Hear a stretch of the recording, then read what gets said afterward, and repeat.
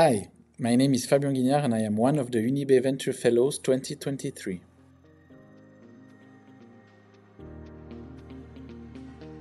My project concentrates on the difficulty of choosing the optimal wheat variety. Ultimately, I'm trying to help the agricultural sector to choose the best variety according to geographical location and its environment.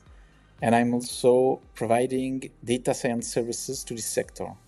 The variety choice is important for adapting crops to climate change in order to maintain a certain crop yield, but also to maintain the protein content of the wheat, which translates into quality for the food industry.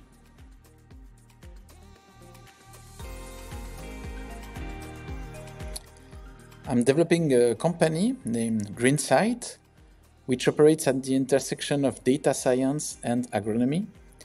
We use data such as meteorological and genetical data, measurement of wheat yield and protein content, and use predictive modeling to give personalized recommendation. And uh, the Venture Fellowship allows me to concentrate on the commercial and entrepreneurial aspect of my research project.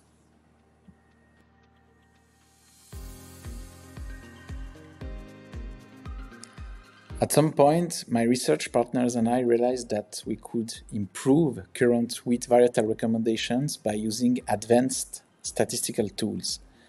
And based on this observation, I realized that I could potentially extend this idea more generally to developing new digital decision making tools for the agriculture based on data science and artificial intelligence, which is GreenSight's main mission.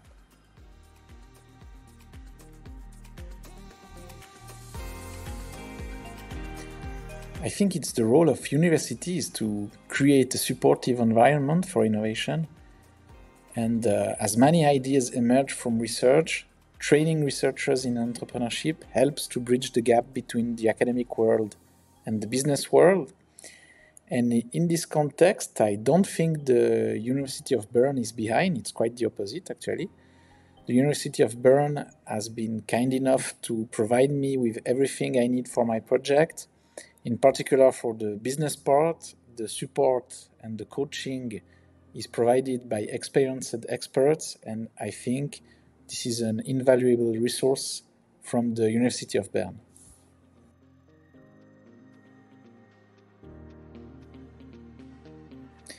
Of course, and this is already the case, some AI tools come directly from statistics, which have a long history in common with agriculture, Agronomic problems have stimulated a large number of methodologies and statistical models.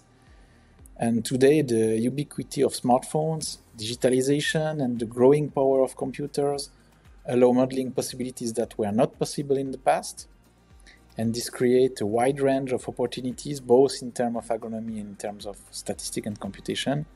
And that's what makes working at the intersection of these fields so fascinating.